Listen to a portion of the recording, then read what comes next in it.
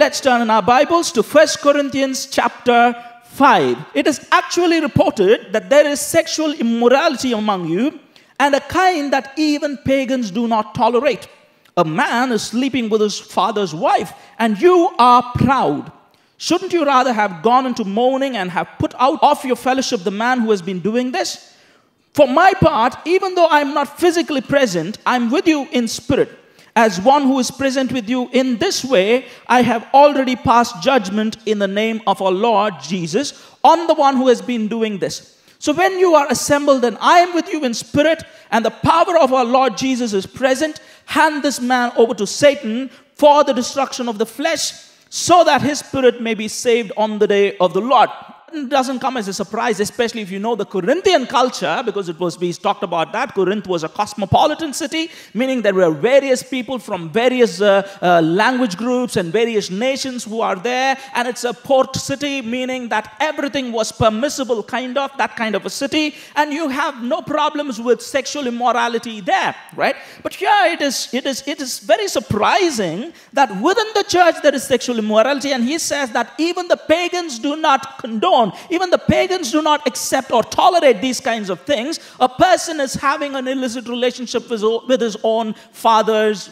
father's wife. Okay, uh, we do not know, maybe a stepmother, but still it is a relationship that no uh, religion or no culture would even condone, and this is happening right within the church. So, what is he saying? He is saying you still hold him as a person who is belonging to the fellowship. He says, I'm with you in the spirit. What is he talking about now? We are going to deal with this because this is something that Paul is writing. And we know that all scripture is God breathed, and uh, some things might make us uncomfortable, but still, that still we believe is the scripture. And therefore, we still read it and we still learn from this. Yes?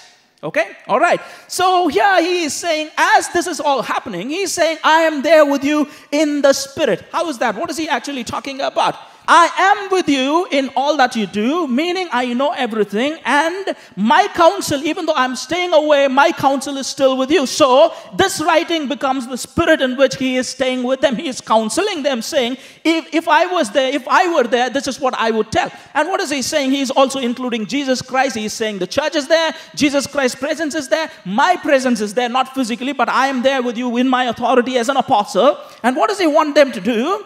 To hand this man over to Satan. What is this? Handing over to Satan. We don't see any kind of a precedence like this before. We don't find this kind of a word used anywhere in the scripture before. But all of a sudden he says, hand him over to Satan. What does he mean by that? And he says, why do you have to hand him over to Satan?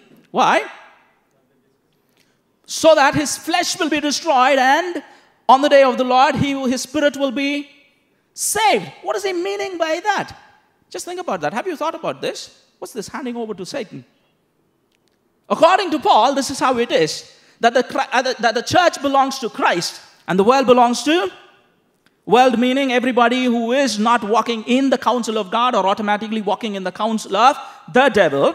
And therefore, you hand him over to Satan, meaning you expel him from the church. That is what he is actually meaning. So that, you, you understand this, so there is no mystical handing over to the Satan. You understand that? Just like you, uh, Stephen would say, oh, I commit my spirit to God, or, you know, you can't commit people to Satan. But if you put them off away from the church, if you discipline them, you are automatically putting them into the realm of Satan. And why is he doing that? Not because he, is want, he wants, to uh, wants the other person to be destroyed, but still with concern, so that when he goes there, he will lose this fellowship and he will understand that this is more important, and maybe there is a chance for him to repent maybe his body, or rather, what is the sarx? It's not the physical body. Okay, Greek word is sarx, which means the sinful nature, so that his sinful nature would be destroyed and his soul might be saved. So, if there is no discipline, meaning not uh, if there is no discipline given, if there is something wrong in the church,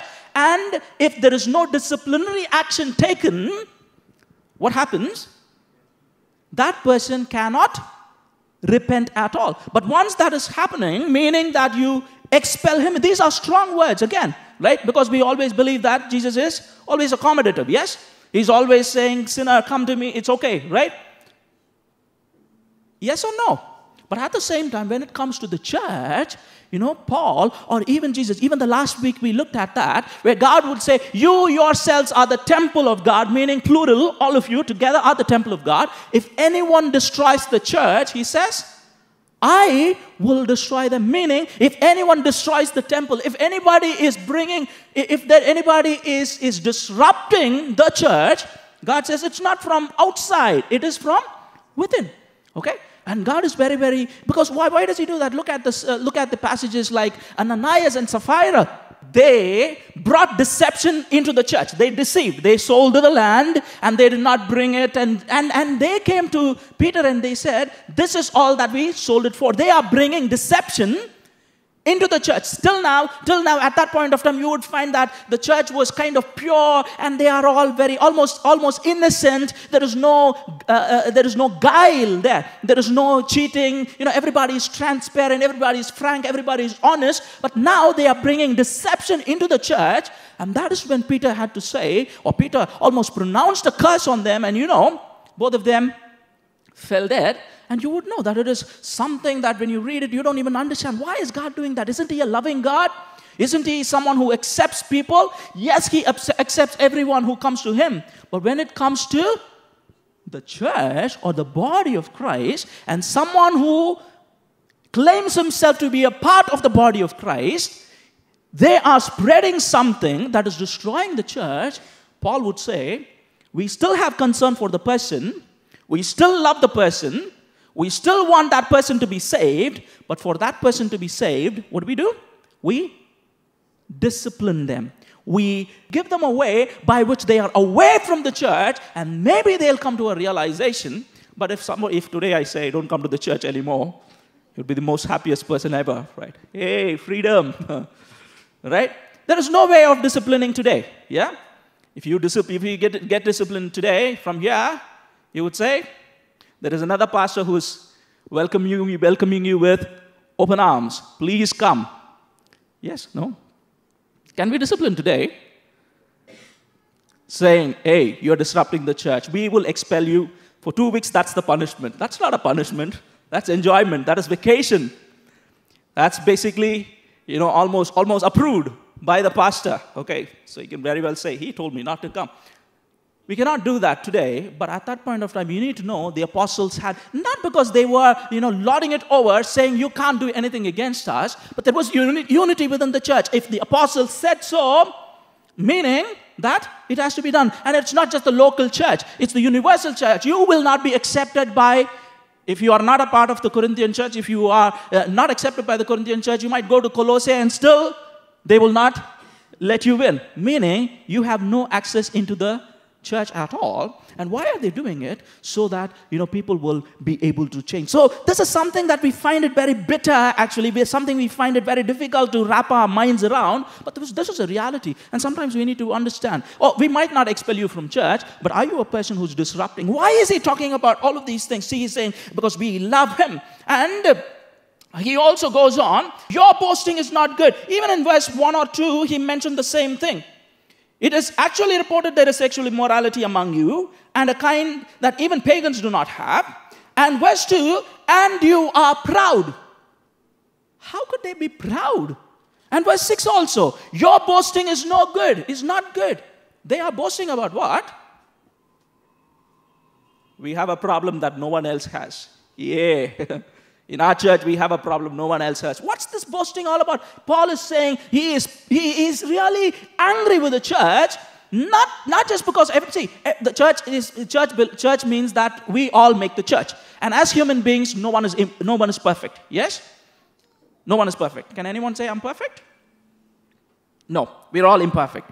And imperfect people coming together, and therefore the church in itself, we can never say, hey, everything is good here, because we are all imperfect people. But can we boast? Can we justify being that, uh, uh, having that uh, uh, uh, uh, imperfectness in us, imperfection in us? Can we justify? But it looks like they are proud about that. They are boasting about that. And Paul says, How can you boast about that? And we are not even, we are not really able to understand why are these people boasting about him? Why are they even doing this? We have no idea at all because Paul is not giving us the data, but for them they really understood because He's writing to people who already know what was happening. Yeah? You get it? For, but for us, for, the, for us, we are, we not a part of the Corinthian church. We really do not know what is happening. Why are they boasting? But we are able to really at least assume what is happening. Because look at that. Later on, he goes on to say, verse 9, I wrote to you in my letter not to associate with sexually immoral people. Meaning, he had already written to them. We, we think this is First Corinthians, this is the first letter to the Corinthian church, but in fact, it looks like he had already written to them. I wrote, not I'm writing here, I wrote already. He's already written to them, and he's already cautioned them not to associate themselves with these kinds of people. And he is, uh, he is writing a second letter, and when the second letter is reaching them, they have still not taken action. Meaning, it looks like, when you look at the whole passage, it looks like this person is very influential. It's, it's like, you know, he's, he's powerful, maybe wealthy. And therefore, sometimes it becomes very difficult to discipline, right? Discipline always happens for people who are normal people. No wealth, then you will be disciplined, right? if you have wealth, yeah, that's a totally different law altogether for you, right? Even Christians will say there is nothing wrong. We are all sinners, right? But by Christ, because of Christ, we are sanctified, not because of our works. And that means that we are all sinners. But at the same time, can we support a sin? We definitely love the person, but can we support the sin? And especially as it is becoming a problem. Look at why he is talking about all of these things. Because in verse 6 again, don't you know that a little yeast leavens the whole batch of dough? Why do I want this man out of the church? Because you know about yeast, right? Little yeast is leavening the whole batch of dough, meaning you add a little yeast, it's not going to stay there, it is going to spread. And therefore, Paul is concerned about the church. This is very important. God is always concerned about the universal picture. Yes, he, each one of us are important as long as we don't create a problem for his universal plan. You get it? As long as we don't create a, problem for the universal uh, plan, meaning the church. If we are disruptive, it's not that everybody is perfect, but if our sin is creating a problem, we are influencing other people, and he is very cautious to say, I want him out of the church because he is creating problems. Get rid of the old yeast so that you may be a new unleavened batch as you really are. What is he talking about? This leavened and unleavened bread. You all know the reference. He is actually comparing uh, the Passover, and that is why he would say, Jesus became the Passover lamb and was sacrificed. So he is saying, the, you, you all know about the leavened bread. You all know about the unleavened bread. You know about how Jesus saved you, the Passover lamb, the Passover is basically the salvation, where you find unleavened bread was used, there was no yeast, now you have yeast. So he's kind of making a comparison between the Passover event and what is happening here, and that is why he is using this. And he says, You are being corrupted by malice and wickedness. That is what he is saying. Get rid of the old yeast, for Christ our Passover lamb has been sacrificed. Therefore, let us keep the festival not with old bread leavened with malice and wickedness. So he is saying, East is like this. Or rather, I'm comparing your malice and wickedness. What is malice? It is something that you do against people. And he is saying, This immorality you know, you need to understand what is this immorality? What, what, what was, you know, why is this kind of an incest wrong? Or even if we talk about sexual immorality, what are we talking about? Is it sexual enjoyment that we are talking about? No, enjoyment is right. It's no problem at all. Immorality would be that for my enjoyment, I use somebody. You understand that? Using meaning exploiting somebody, that becomes immorality. You get it? And that is why adultery would be considered something of an immorality because for yourself to be benefited, what do you do? You hurt somebody, it doesn't matter. Right? That is why rape is wrong. Why? Because it, it, it kind of satisfies the rapist, right? But we don't condone it. Why? We need to condemn it. Why? It's sexual immorality, meaning you are using another person for your benefit. And sexual immorality, all through the scripture, has been defined this way that it is not about the enjoyment about it. It is basically, are you using another person for your advantage? You don't care about the hurt or harm or anything that you are inflicting upon them, but all that you want is pleasure, and that is what here it is all about. At this point of time, we need to understand that women were not given importance at all. A man could do anything and get away with it. You understand that? And who are the ones who are exploited? Who are the ones who are exploited? The women.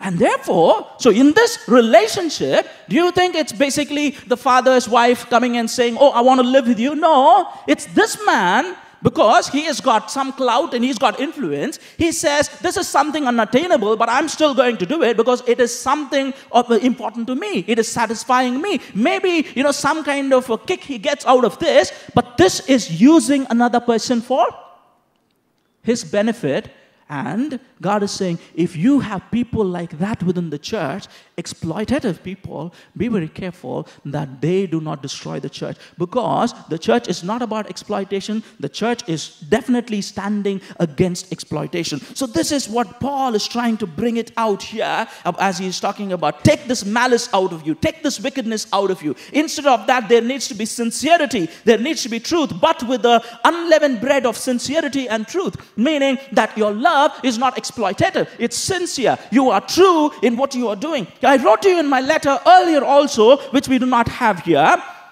not to associate with uh, sexually immoral people, not at all meaning the people of this world who are immoral or greedy or swindlers or idolaters. In that case, you would have to leave this world. So, what is he saying? When I'm talking about stay away from these people, I'm not talking about people outside the church, because if you have to, if I'm giving you a command like that, that means you cannot even live in this world. But for us who are the sinners, always, don't mingle with the sinner.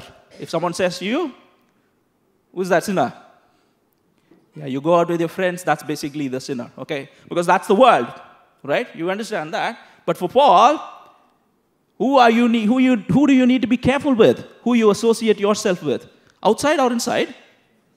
Okay. What is he talking about? Because he is talking about how it could affect the whole fabric of the church itself. So he is saying, I'm not talking about the people out there, and he is comparing these immoral people with whom? With the greedy, the swindlers, the idolaters. What do everything have in common? Greedy, idolatry, swindling. And then he will also go on talking about in verse 11, the second part of it, he will also talk about uh, slandering, drunkenness. What do all these have in common? Yeah, they are all selfish and they are all self centered. They are all good for the people who are using this, but it's for bad for the people around them. You get it? Slandering, what's that? You go and talk about a person, yeah, bad things about a person, and you like it because it's time pass for you, it's time pass for the other person, but it is hurting and harming the person that you are talking about. Greedy? Yeah, I take your money because I'm greedy. I like it. And therefore, I'm having a good life, but you have become the victim. What is idolatry? Why is idolatry wrong? Who gains out of idolatry? See, idolatry is this. Yeah, it's, it's, it's basically, you know, making an idol and all of those things. We always believe that there is how many gods? How many gods? One God, right? That is the biblical teaching. We are a monotheistic religion. We believe that there is one God, and therefore we do not say other gods, right? Because that would mean that we are also accepting that there are other gods. Though there are no God, other gods, there is only one God. And if someone is saying this is God, that, is, that means that they have formed something false, right? There is only one God. They have created something false and they are calling it God. Why are they doing it? Because they don't like the God and they want to create something that would please them. Every idolatry, you know, any idolatrous practice, you look at that, there will be exploitation, there will be victimization. In an idolatrous practice, you know, hurting somebody is not a problem at all because the God that they had created, himself or herself, will, know, will have no problem exploiting. You get it? And therefore, for any kind of exploitation, for any kind of prejudice, you have a God who will accept that you are a sexually immoral person and your God that you created is no dissimilar to you. It's not dissimilar to you. He or she is going to condone it. They are going to be okay with it. You understand that? You get it? We have caste system and we say, hey, this caste is low, that caste is high. You know, I don't mingle with you. Then I create a God who would say, yeah, that is true. Because I created some people from my head, some people from my feet. So you create a God who is going to, who is actually a reflection of what you want to do in life, and you create a God. That is idolatry. You get it? So, idolatry in itself is exploitation. There is someone who is using idolatry for their own benefit. You want to put down women, you create a God for whom a man is much more superior than a woman. And therefore, when you follow that God, what happens? You can justify having a prejudice against gender or, or social status or anything like that. You get it? So, idolatry becomes exploitative. So, what we are trying to say is he is clubbing everything together greedy, idolatrous, swindlers. You know, I care not about you, but only about my, uh, my coffers. I will take everything from you. Any exploitation Paul says, which he obviously includes the sexual exploitation, cannot be a part of the church. And a person who does that and he is trying to make the church take that also or be influenced by that, put him away, he says. Verse 12 What business is it of mine to judge those outside the church? Are you not to judge those inside? God will ju- judge those outside. Expel the wicked person from among you. Now he is very clear. So it is not ambiguous at all anymore. Uh, earlier he said, hand him over to Satan. And we were a little bit confused, but we looked at the whole context and we were able to understand. Now he's making it very clear. He's actually stating it out. What I want you to do with that man is, what do you do? Expel him. And why? Because we have a right to judge the church. We have no right to judge people outside. Let God judge the people outside. We will judge the people inside based on the teachings that we have received. So this is important. Being having discipline, having the, the, understanding that I yeah, all of us are sinners and we need to ask forgiveness from God and we need to move away from that. We have to repent, we have to change. But if we become an influence on other people, that our sins that we influence others to become like uh, us, not in good things, but in bad things, then the Bible clearly says that you are supposed to be out of the kingdom. And Paul is so vehement to do that. I am a sinner. I need to grow away from my sin. I need to walk away from that. I need to change, make a change in myself. But if I'm becoming a bad influence, that is when I check myself and I know that I'm definitely against God, I'm definitely against the church, and God Himself is not very happy. He's he really uh, upset with me, and I need to change. Because destroying the church of God is something that needs to be dealt with very severely. You get it? If any of you have disputes, has a dispute with another, chapter 6, do you dare to take it before the ungodly? For judgment instead of before the Lord's people. So, the second problem here one is that the sexual immorality of incest that is there, and they are not even considering that to be a problem. They are even proud of the problem that is there. And now Paul says, no, it has to be dealt with because it is affecting the church. Now, there is another problem that they have, the, the, the Corinthians have. What are they doing? They have disputes among themselves. And they, instead of taking it to the Lord's people, what is this? Lord's people, and he's calling ungodly uh, judges. What is he talking about? It looks like they have problems. Why, why would there be lawsuits? Why would there be problems within the church? What's a lawsuit? Someone files a lawsuit against you, meaning that, why, why, why do they do that? Why would they do that?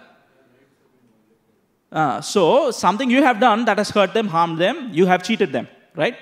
Why can that be a part of the church, meaning some people within the church are filing lawsuits against another person within the church because within the church there is exploitation and victimization and the victim is going to the court and it looks like you know the exploiter is going to court. As we read the whole passage you would understand they are taking it to, uh, to somebody else outside the church.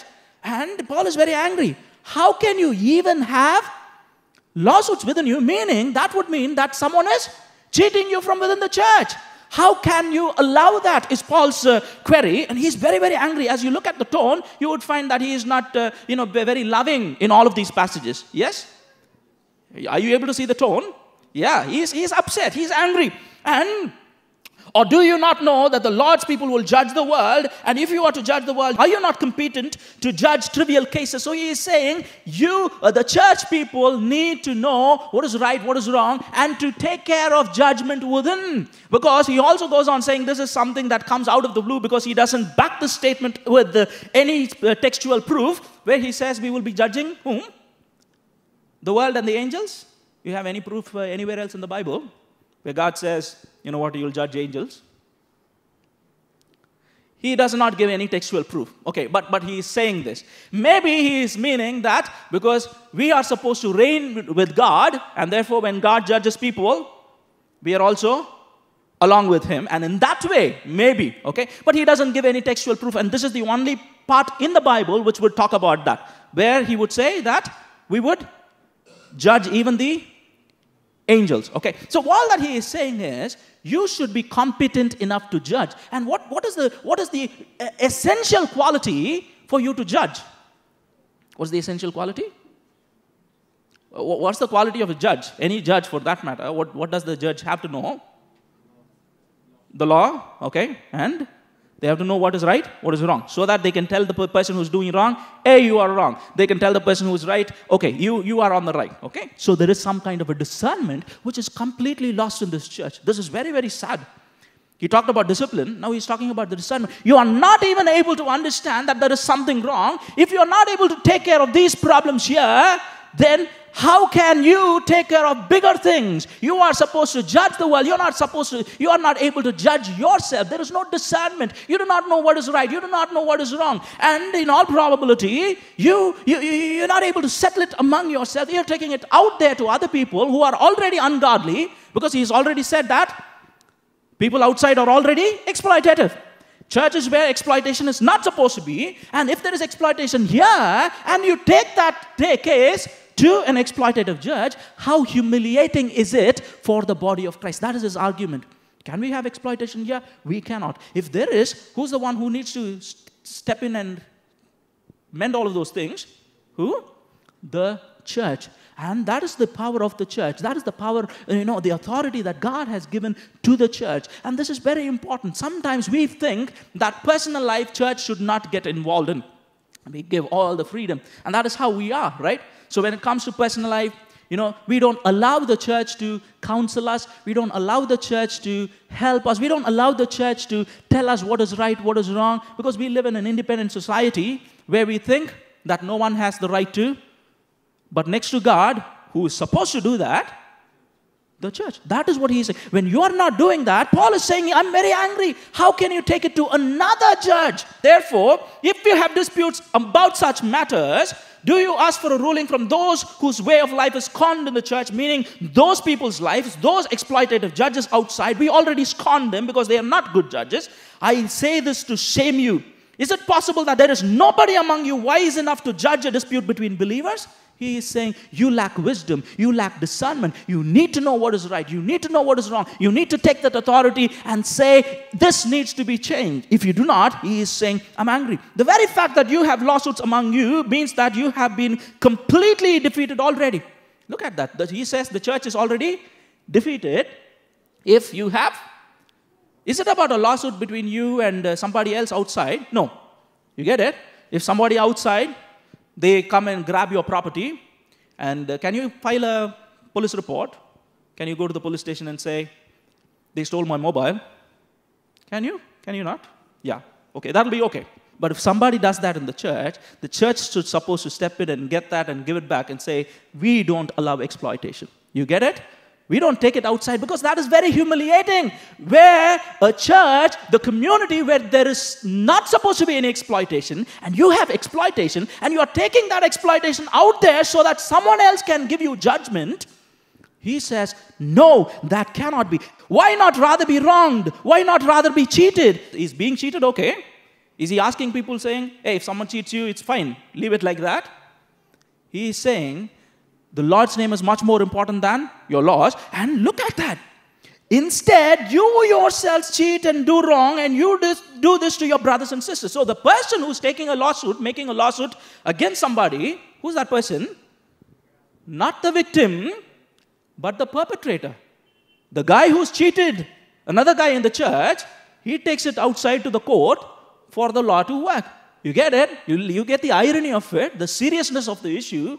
Paul is saying exploitation is right there within the church. The church has to discern. The church has to tell people no exploitation. If someone is exploited, justice needed to be meted out right from within the church. So he is talking about the church here. All right. Chapter 6 and verse 12, in quotes it says, I have the right to do anything. And Paul answers, but not everything is beneficial. So they are quoting from somewhere. We have no idea where they are quoting from, but it's a quote that they are using. What are they saying? I have a right to do anything.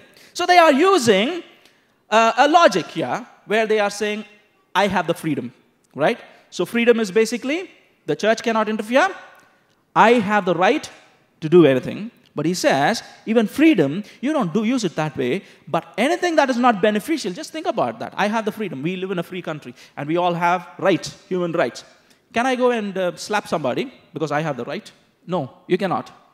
You cannot. The freedom is there only to benefit. Freedom is there only for constructive things, never for destructive things. So here he is, they are, they are uh, incestuous people, they are immoral people, they are greedy people, they are exploitative people. And now when Paul is saying all about all of those things, you need to discern, you need to judge, you need to you know, expel people, they are saying, we have a right to do anything. Because who gave the freedom? Not you, Paul. Who gave the freedom? God given freedom. Paul says, freedom is only for something that is beneficial. And again, they say, I have the right to do anything. But I will say to you, you cannot be mastered by anything because any misdeed that you do, any exploitation you do, what, what, it, what it becomes is it becomes your master, right? That's what he is saying. So it's very, it's very, very humorous when you put it rightly. I have a freedom to become a slave. Can you say that? I have the freedom to become a slave. That's basically what it means. When I say I have the, I have the freedom to exploit, exploitation is going to become your master and you're going to be hooked on to exploitation. You will keep on exploiting, not because you think you are the master, but there is something that is driving you and you are using your freedom to become a slave to that exploitation. And he says that cannot be. Look at that. And now they have another argument food for stomach and stomach for food, and God will destroy them both. What, is, what are they talking about? All of a sudden, they are using another quote. One is, we have the God given right, and they, God, Paul is saying the right is to do the right thing, not the wrong thing. If You do the wrong thing, you will become slaves to the wrong thing, and therefore that, that doesn't even make sense. I have the freedom to become a slave. That doesn't work that way. And then they have the other argument. What are they saying? Food for the stomach, stomach for the food, God will destroy them both. And then he goes on saying, The body, however, is not meant for sexual immorality, but for the Lord. What are they saying? The body needs certain things. Okay? And those things exist. It could be food, it could be sex. They are, exist for me to consume. And we know that body doesn't mean anything because it's temporal. God is going to destroy my stomach, my food. Ultimately, my eternal life is not going to be affected by any of those things. That is their argument. You get it? What they are saying is, my physical crave, you don't judge it because it doesn't matter what I do, because ultimately I am going to be, this body is going to be destroyed, and therefore my eternal life is still safe. My salvation is still safe because this is just the body. This is the problem of bifurcating, of compartmentalization, of compartmentalizing things, saying this is bodily, this is spiritual, this is worldly, this is spiritual. They are using it very craftily to defeat Paul's argument, where they are saying, so what if I'm sexually immoral? Because I, I can only be sexually immoral till I have a body. But I know eternal life does not include my body. So, what is the problem here? Anyway, I'm going to be destroyed. The body is going to be destroyed. My spirit is yeah, it's saved. I'm holy in my spirit. Okay? You understand that? Yeah, these are nobody other than, you know, these are Christians. These are the church people. And Paul is really angry. And he says, Look at this. The body, however, is not meant for sexual immorality, but for the Lord. And the Lord for the body. Never say stomach for food and food for stomach. Say the body is for the Lord and the Lord is for the body. You understand that? The body belongs to God. And therefore, you have no right to say that. And then he goes on, by his power, the Lord was raised from the dead and he will raise us also. Meaning, you think that, that, that eternal life is only about the spirit. No, no, no. You and your spirit, you and your body, you cannot separate it. That is what he is actually saying. And what kind of immorality is he talking about? He's slowly explaining that. Your bodies are members of Christ himself. Shall I then take the members of Christ and unite them with a prostitute? Never. So, what are they condoning now? What are they justifying? The Corinthian church people, not the outside people, the Corinthian church people, what are they justifying?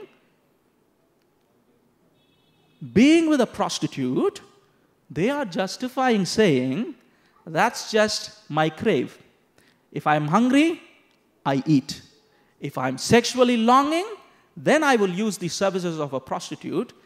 It is no different from how I am eating my food, and ultimately both of them are going to be destroyed. My soul is going to be saved. You see that? What is he talking about? And he's not putting, you know, these people down, basically the other people, you know, when he is saying, you know, how can you unite Christ with the prostitute? Never. Because uh, the, these women, especially in the Corinthian culture, you know, I mean, no, no woman, uh, you know, comes into this profession basically uh, out of their own uh, will or wish. Okay, they are forced into it. It's basically male exploitation, and especially in the Corinthian culture, you need to know there were even temple prostitutes where people would use them as uh, you know they are the priestess there in the in the temple of aphrodite. If you know about the corinthian culture it is very very sad. You know in, in, in i think in, in tamil nadu maybe there was a system called devadasis. Okay you might have heard about that. The idea of certain women being there in the temple they are supposed to be serving god but they are supposed to be satisfying every need of any man that comes that way. So that and that in the guise of the woman is told this is how you serve god this is exploitation. And this was prevalent in Corinthians, in the Corinthian city. And these people within the church are exploiting women. And they still have the audacity to say, What? The food is for the body, body is for the food. Both are going to be destroyed, but I'm saved, saved and safe because my spirit is holy. You cannot distinguish, you cannot separate your soul from your body. You cannot say, this is spiritual, this is physical. You understand that? Everything is physical because we are living in the physical body. As we live in the physical body, we need to always be spiritual minded. You get it? There is no differentiation because this is the this is a kind of a terminology we keep on using. Oh, this is worldly, this is this is spiritual. There is no worldly, there is no spiritual. You are a worldly person because you are in the world. You are a physical person, you have a physical body. But how you use that are you spiritual minded? Or do you, as he says, do you belong to the realm of Satan where your mindset is not about, is, is always exploitative? He gives arguments where he says, Do you know that he who unites himself with a prostitute is one with her in body? For it is said, The two will become one flesh. But whoever is united with the Lord is one with him in spirit. Flee from sexual immorality. All of the sins a person commits are outside the body, but whoever sins sexually sins against their own body. So he is using the word body actually three times in different senses. I'm just going to just, just point them out and conclude. He's talking about one, the physical body of every other act is, is yes, there is a, you use your physical body, but this is basically the intimate relationship, and therefore your body is united with somebody in that exploitation. And then he is also talking about the body of Christ. You are a part of the body of Christ. How can you unite the body of Christ with an, with an exploitation? And then he also talks about the, the concept of oneness that was there in Adam and Eve, where they were one as a family. So you are destroying this body as well. In your sexual uh, immorality, you are hurting Christ, you are hurting this oneness body, which is the family, you are destroying this body, the personal body, the individual body. He's talking about body thrice, and he says, because of all of these things, stay away, don't exploit sexually. Do you not know that your bodies are temples of the Holy Spirit who is in you, whom you have received from God? You are not your own, you are bought at a price. Therefore, honor God with your bodies. So he is saying, these are things that you use as arguments, but I'm going to refute them. I'm going to discredit them. So there might be people who, who are exploitative, but they will have kind of arguments to justify their exploitation. Paul is saying, no, no, no. You can never accept exploitation as something that we should. So I know this is a long passage, but Paul is writing so much, and therefore we need to discuss at length about all of these things, right? So as we know, this, this is what the scripture is saying, and I'm trying to expound what is there. So the Corinthian church had this problem of exploitation in terms of material things, that is why lawsuits exploitation in terms of relationship with women, especially the first part of it, where incest. Another woman who's not able to, she has to give in to the man's uh, uh, whims and uh, fancies because that is the situation that is there. And even though this woman is still the father's um, wife, this man somehow, you, you, know, is having a relationship. And that he is, Paul is saying, people, how can you accept that? How can you accept any kind of an exploitation, even material exploitation? How can you have, you know, and, then they are saying, hey, we are, we are not doing this. We are not even, we are not using even people who, who don't want to. We are only using using people who want to be used. That's what they are actually saying. Prostitutes, they want to be used. He is, according to them, they, they are just there so that we can fulfill our pleasures. And he says, you cannot do that. You cannot separate your body and your spiritual life separately because the body still belongs to God and honor God with your bodies. And therefore, this is something that we need to understand. No exploitation within the church. If there is exploitation, make a change because God is really, really angry because it doesn't stop with you. It, it, it flows over into the congregation. God doesn't want to do that. God what doesn't want you to do that. And if there is any kind of uh, a, you know, a, a, a monetary exploitation, material exploitation, you know, let's, we need to settle it among ourselves. We cannot have it. And if you ever say, hey, that doesn't even matter, that is a, that, that's not even a person that I'm exploiting, exploiting almost, because the society does not even consider them as people. I'm just, that's, that's just the way of the world. God says, honor God with your bodies. So let's bow down our heads and look to the Lord in prayer.